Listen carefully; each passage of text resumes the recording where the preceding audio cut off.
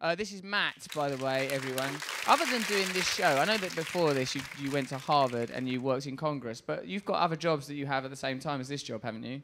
Yeah, I'm a fellow at a think tank called the Roosevelt Institute. I think of the think tank as kind of like an other woman that you cheat on me with.